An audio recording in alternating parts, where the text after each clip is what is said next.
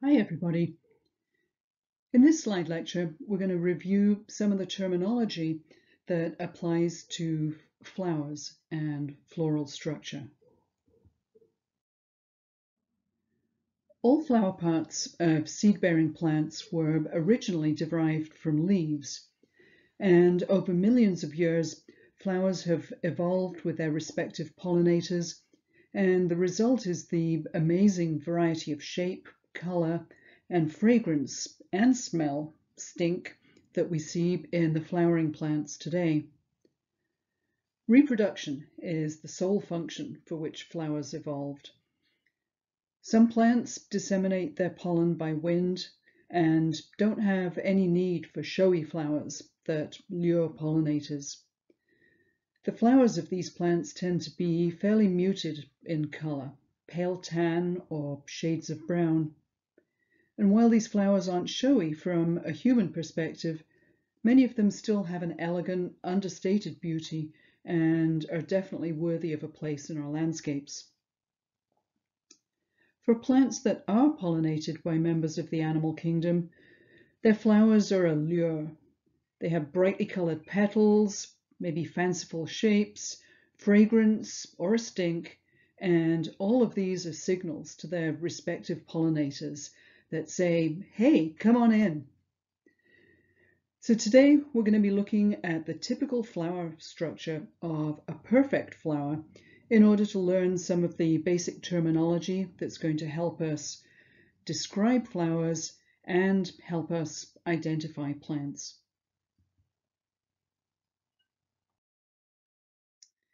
Let's start with perfect flowers. A perfect flower is also referred to as being bisexual or hermaphrodite. And a perfect flower is one which contains both male and female reproductive parts. In the photos on the right here, you can see four examples of perfect flowers. We've got the jade plant, Crassula ovata, the friendship sage, the San Gabriel flannel bush, and beach strawberry. And I know these photos are rather small, but if you look really carefully, you can see both the male and female reproductive structures in these photos. Imperfect or unisexual refers to a flower that has only male or only female parts. If we have separate male and female flowers on the same plant, the plant is referred to as being monoecious, and this is derived from two Greek words meaning one or single, mono, and house, ecious. So we have separate male and female flowers in a single house. And a good example is the one here on the right, which is our California native shrub, Corylus cornuta, the California hazelnut. And here we've got the, the male flowers and here is the female flower. If we have separate male and separate female flowers on separate plants, then the plant is referred to as being dioecious, so two houses. And examples of this would be leucadendron, the cone bush, the South African shrub, Garrya elliptica, which is pictured here on the right, another California native shrub, and all of the genera in the Southern Hemisphere family of rushes, the restios, or Restionaceae. Here we've got a, a, picture of one of the most common restios that you'll see in coastal California landscapes, Elegia elephantina used to be called Chondropetalum elephantinum, and you'll still see it marketed under that name in some nurseries. And here's another example of a plant that's dioecious, the kiwi fruit, Actinidia deliciosa. This has separate male and female plants, and the photo here is of a really nice specimen of kiwi fruit trained on a wire system as an informal espalier at the Royal Horticultural Society garden in Harrogate in England. So a little more terminology. Regular, radially symmetrical, and actinomorphic are all interchangeable terms that describe flowers that can be cut into equal halves along more than one vertical plane. And examples would be Osteospermum, the African daisy, um, Cistanthe, grandiflora, the rock purslane, still sold under the old name often of Calandrinia grandiflora, the Crassula ovata jade plant that was in one of those four photos at the beginning of this presentation, and the rock roses, cistus. And zygomorphic, bilaterally symmetrical, or irregular are terms that we use to describe flowers that have bilateral symmetry. So we can only draw a line in one direction and obtain two equal halves. So for example, on this uh, sticky monkey bush on the right there, if we draw a vertical line like that, we can obtain two mirror halves on that flower. So that's zygomorphic, bilateral, or irregular. Other plants that you might be familiar with that are bilaterally, bilaterally symmetrical are all plants, plants in the mint family, all plants in the pea family, and all penstemons as well. So where do we start when we're going to be looking at a flower?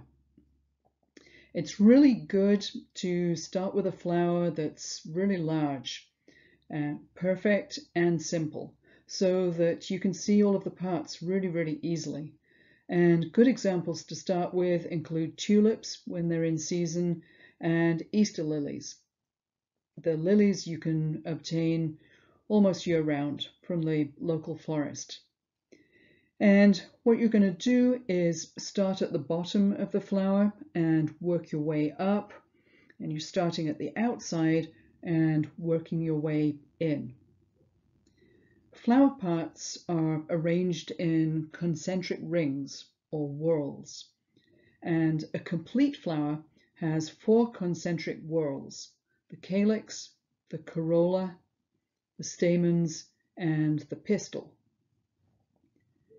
Flowers lacking one or more of these four whorls are termed incomplete. And remember that monoecious and dioecious plants will have incomplete flowers always because they only have either male or female flowers. And just to confuse things, some plants are polygamous. They have both unisexual and bisexual flowers. Most flowers are attached to a plant by a stalk and the stalk of an individual flower or inflorescence is called a peduncle. And in everyday language, we just call it the flower stem. If there is no stalk, the flower is termed sessile or sessile. That's the same term that we use for leaves that have no petiole. And the area at the top of the stalk here is the receptacle. And at the tip of the, the flower stalk or the pedicel, there's an apical meristem where cells are rapidly dividing and forming all of the floral structures and arranging them into whorls. As we continue to work our way upwards through the flower from the receptacle, we come to the sepals and the petals.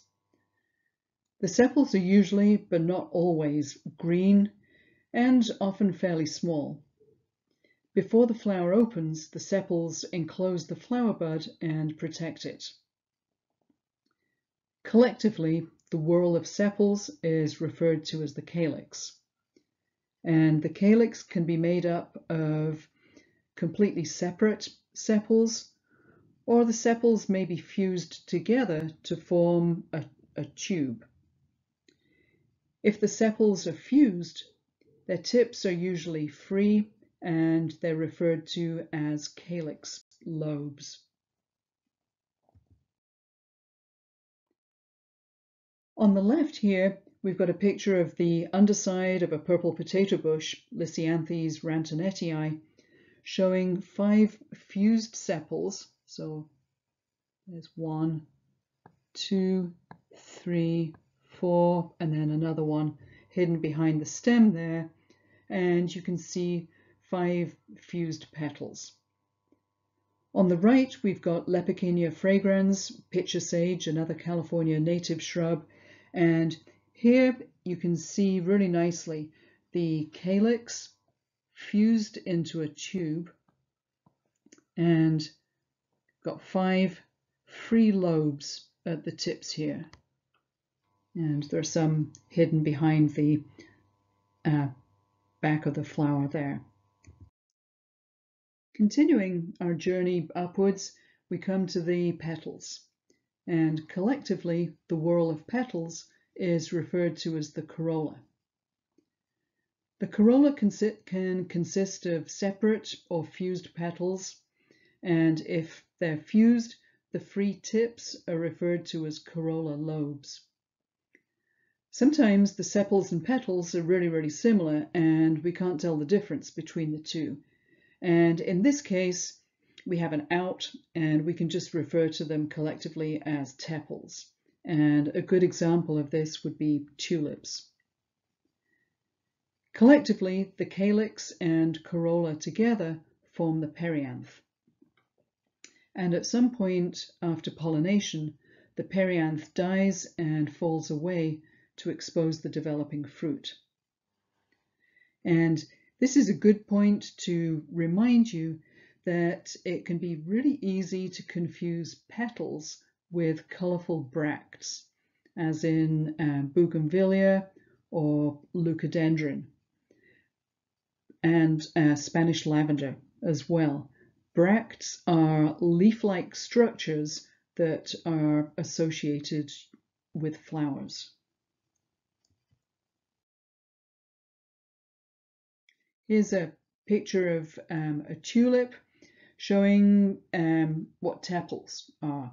Here you can't see any sepals at the top of the stem.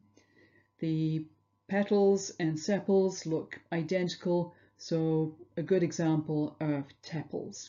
And other examples would be magnolia and lilies. Here's a photo of a Magnolia soulangeana on the Cabrillo campus, showing that there's no obvious difference there between the, the sepals and the petals. Let's look at the male reproductive organs, the stamens. Inside the whorls of sepals and petals, or tepals, are the reproductive organs, and the male parts are referred to as stamens, the singular stamen. And one of the ways, the silly ways to remember um, that the stamens are the, the male reproductive parts is just to think stay men. So each stamen consists of a stalk called the filament, and each filament is tipped with an anther. And sometimes the anther looks like two miniature hot dogs, sort of laid side by side, or rather not hot dogs, but two hot, hot dog buns. Each anther holds grains of pollen, and each pollen grain contains two male sex cells called sperm.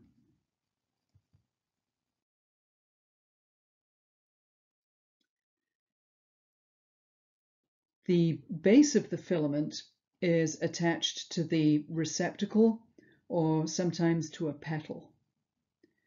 Usually anthers and pollen are yellow, but other colors such as red, white, blue, orange, and purple are sometimes seen. Sometimes the anthers may be absent and there's only a filament. This means that the stamen is sterile, and a sterile stamen is called a staminode. The number of stamens, the position of attachment, and their colour are usually the same between closely related species and usually very similar within a single plant family as well. The number of stamens, the position of attachment, and their colour are really important in the identification of plants. On the right, you can see a tulip that's been stripped of its tepals, showing six stamens and their point of attachment here on the receptacle. And then in the middle here is the female reproductive structure, which is a, a fused pistil. Right at the center of the flower, we find the female reproductive structure, referred to as a pistil. At the base of the pistil is the ovary, which is attached to the receptacle, and each chamber within the ovary is referred to as a locule. Inside the ovary, we've got ovules, and each ovule contains an egg that develops into a seed after successful fertilization. We've got a slender stalk called the style that extends upwards from the ovary, so here. And there may be one or more styles. And the style may be divided into two or more lobes.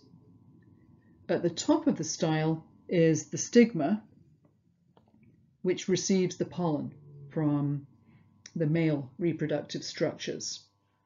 And the stigma may be sticky or dry, and it may be shaped like a thread, a cup, or a ball, or forked, and is sometimes divided into multiple parts. And the, the way to remember that the stigma receives pollen from the male reproductive parts is that the pollen sticks to the stigma. Got a nice picture here of the perfect flower of Cistanthe grandiflora or Calandrinia grandiflora, rock purslane on the left, showing the petals, numerous stamens here, and the pistil right in the middle with the, here's the ovary, the style, and stigma right at the top there. On the right is the tulip again with the tepals and stamens stripped away this time, just showing the pistil remaining in the middle. Many flowers have nectaries, which are nectar producing glands. And usually the nectary is close to the ovary or underneath it. In some species, though, the nectary is actually on the ovary, or it may be on the style, on the petals, the sepals, the stems, or even the leaves. Nectar contains water and sugars and sometimes vitamins and oils, and nectar is the reward for pollinators.